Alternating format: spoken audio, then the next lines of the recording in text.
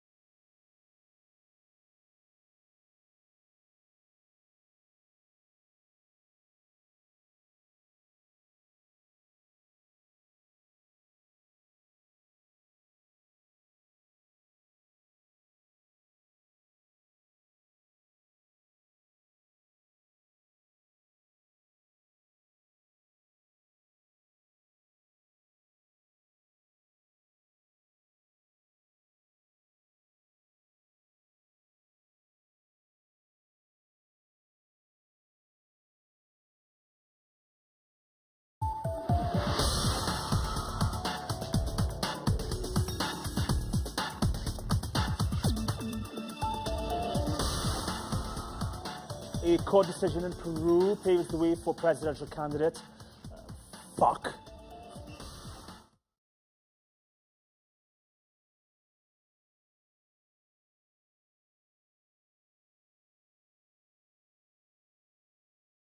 Keiko Fujimori.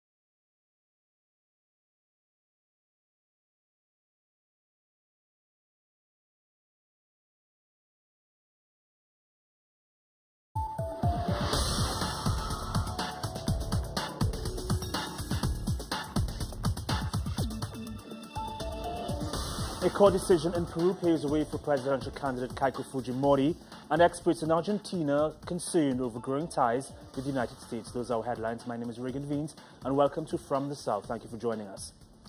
Our top story deals with the Peruvian candidates Julio Guzman and Cesar Acuna, who have been ruled out of the presidential race. And here's why.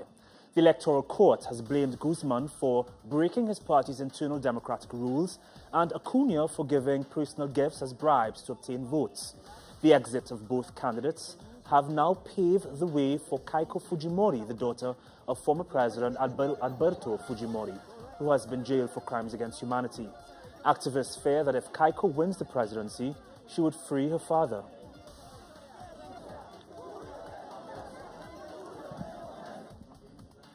And thousands of women gathered in Lima to demand justice for women who were forcefully sterilized during Fujimori's regime and for their right to abort. Laws in the country limit therapeutic abortion, prohibiting rape victims from aborting. In November last year, a progressive reform for abortion laws was archived by Congress.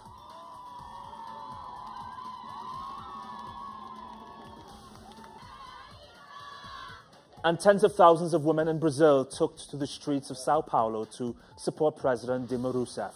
Feminist groups expressed support for the policies promoted by Rousseff's government and rejected attacks against the president by right-wing media and opposition leaders. The attacks have tried to link Rousseff to the Petrobras corruption scandal.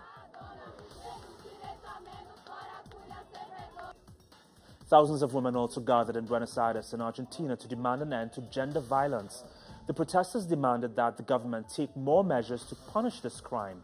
Last year, in the first year, in the first ever gender-based violence registry, the Justice Ministry released a report which showed that over 200 women were killed in the year 2014.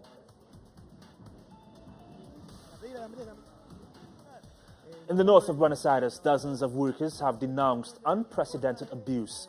The Menoya Corporation, which has fired a large number of its staff, allegedly tortured workers who were striking against the massive layoffs. The workers say the owner of the company confronted the workers and was joined by a muscular man who was carrying a picana, that's an elect electrical tool that was used in torture during the dictatorship. Social movements and workers' unions have announced that they will stage a massive protest for the 24th of March to commemorate the 40th anniversary of the last military dictatorship. On that same day, President Barack Obama will visit Argentina, and many are criticizing the government's new foreign policy towards the United States. From Buenos Aires, our correspondent Laureano Ponce has more. Along with neoliberal economic policies, the realignment with the U.S. government appears to be one of the cornerstones of Mauricio Macri's foreign policy. A trip made by the security minister to Washington, D.C. to reach a deal between the Macri administration and U.S. federal forces has caused concern amongst critics, including social movements, investigative journalists, and academics.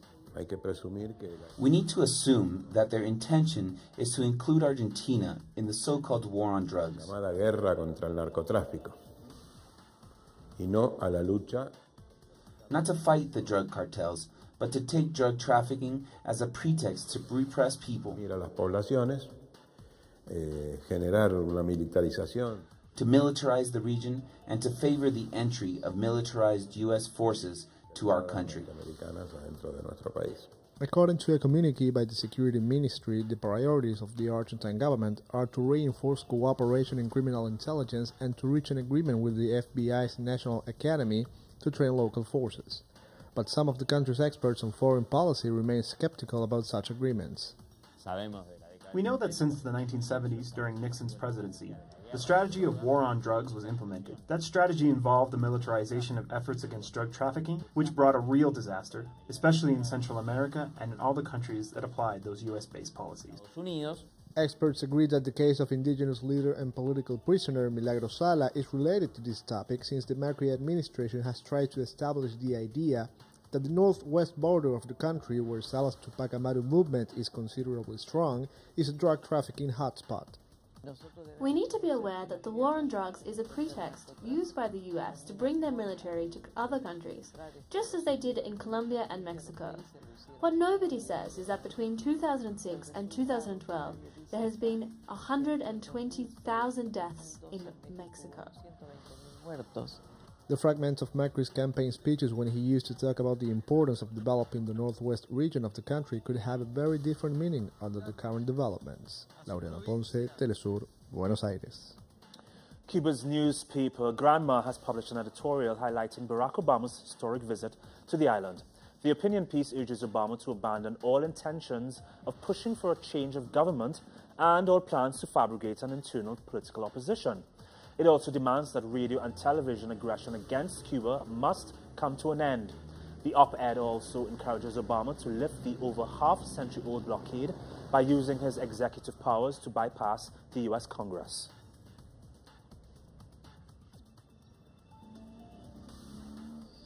Obama's visit is part of a complex process of normalizing bilateral links, which is just the beginning, and has advanced along the only terrain which is possible and just, that of respect, equality, reciprocity, recognition, and the legitimacy of our government. The Venezuelan government has launched a massive operation in the state of Bolivar to respond to families which are demanding to know where their relatives are. At least 28 miners have been reported missing. The area is known for illegal mining operations and the organized crime which profits from it. President Nicolas Maduro announced that the investigation will be as broad as possible.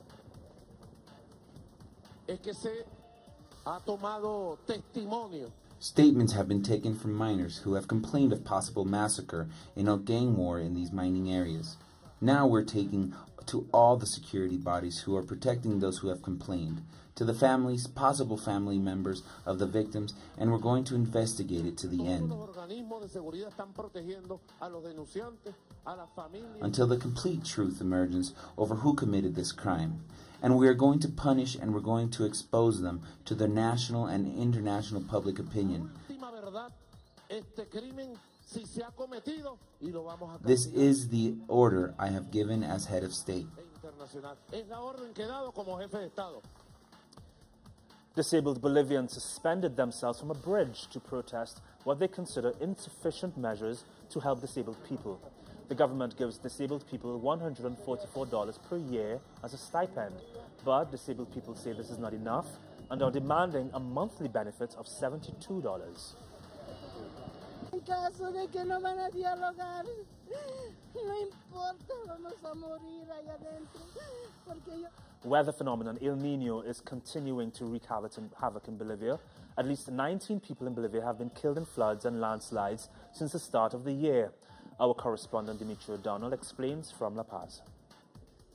Complete devastation in the village of Hupapina in La Paz.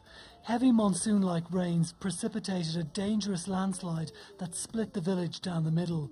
Houses now lie in rubble, the local church is about to collapse, and 14 families had to flee.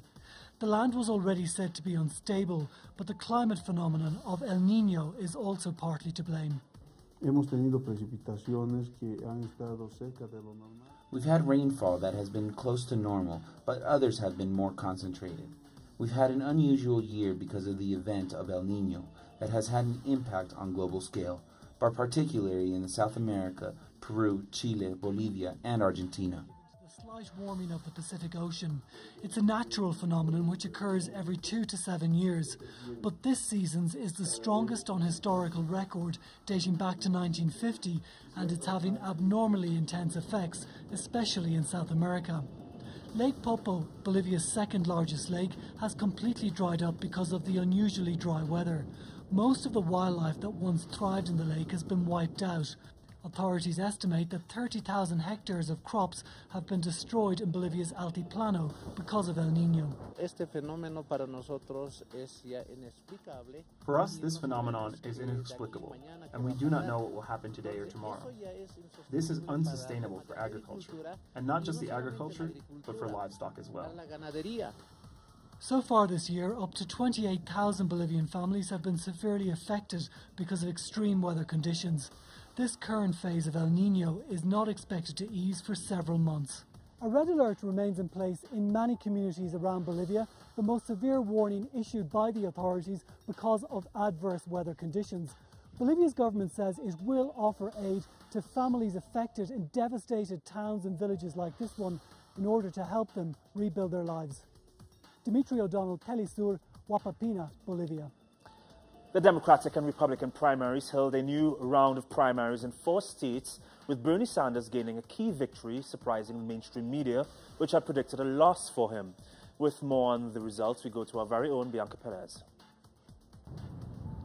In what was called the second Super Tuesday of this primary election, four states casted their votes. Bernie Sanders was the winner of Michigan, the states with the majority of delegates at stake. Now, the campaign uh, said that they are confident that many of the states that have yet to vote will vote in Bernie Sanders' favor. As far as Hillary Clinton, she had a victory in the state of Mississippi. Now, on the Republican side, frontrunner Donald Trump maintained his frontrunner status, winning the states of Michigan, Mississippi, and Hawaii, while Ted Cruz continues to be in second place by winning the state of Idaho. Bianca Perez Telesur, Washington, D.C. Thousands of French students and workers marched in Paris to protest proposed labour reforms that put almost all aspects of labour relations up for negotiation. One of the proposed reforms will cut overtime pay for work performed over 35 hours a week.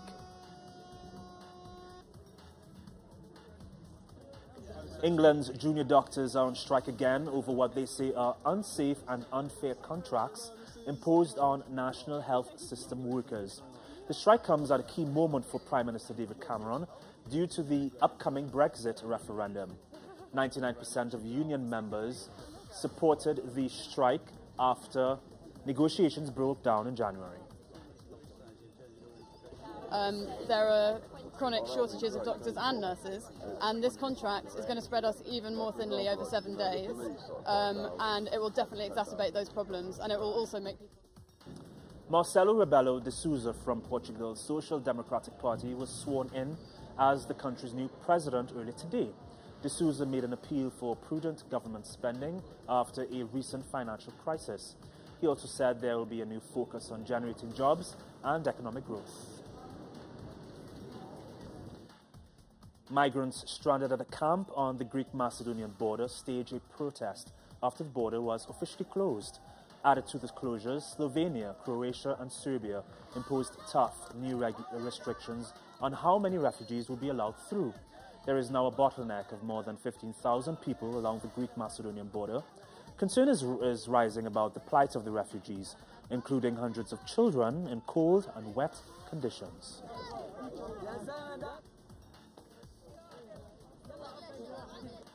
United Nations Special Envoy for Syria Staffan de Mistura and international delegations from the UN Humanitarian Task Force met in Geneva earlier today.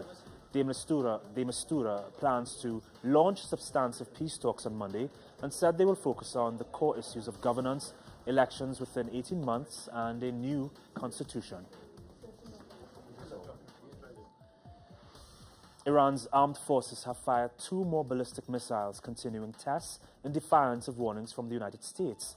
This follows multiple ballistic missile tests carried out on Tuesday, despite the U.S. sanctions imposed earlier this year that aimed to disrupt its missile program. The missile sanctions were imposed the day after nuclear-related sanctions on Iran were lifted. Speaking from Jerusalem, U.S. Vice President Joe Biden said that once these tests are confirmed, the U.S. will take action. I want to reiterate, which I know people still doubt. If in fact they break the deal, we will act. France will not automatically recognize a Palestinian state if a Paris initiative to host an international conference to revive Israeli Palestinian peace talks fails. This is according to French Foreign Minister Jean Marc Ayrault during a press conference in Egypt earlier today. The minister added that nothing is automatic and France will present its initiative to its partners as the first step.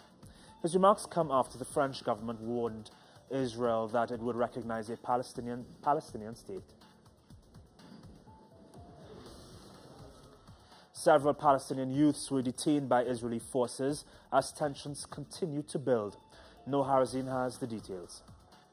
The Israeli occupation forces shot dead two Palestinians after they opened fire and critically wounded two soldiers near the Damascus Gate in East Jerusalem Wednesday morning.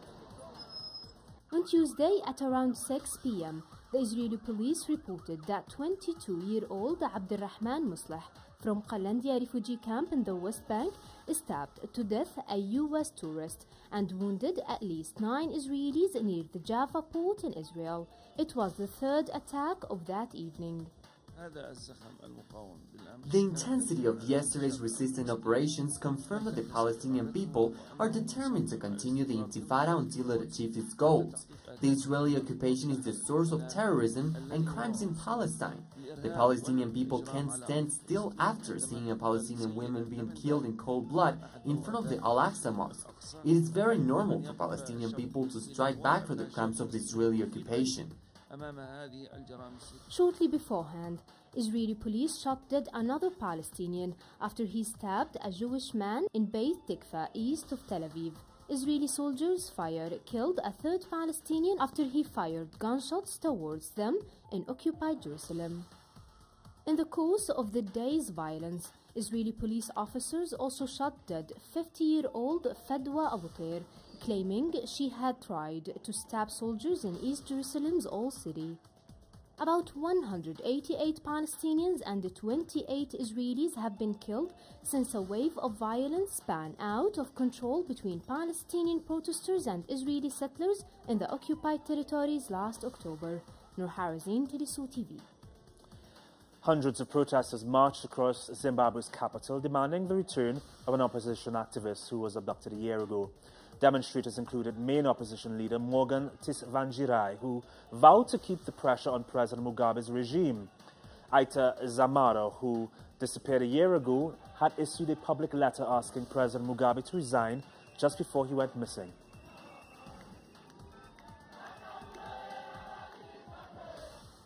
Authorities have searched the offices of France's Soccer Federation and have seized documents in support of a Swiss investigation into former FIFA president Sepp Blatter. This was confirmed by Switzerland's Office of the Attorney General.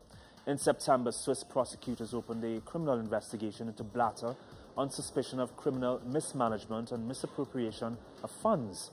He has dismissed those allegations. Legendary Brazilian musician Gilberto Gil was discharged from a Sao Paulo hospital earlier today. Gil was hospitalized for almost two weeks for high blood pressure treatment and kidney problems. Gil took the foundations of Brazilian music in, in the 60s with a fusion of samba and jazz music call, called bossa nova.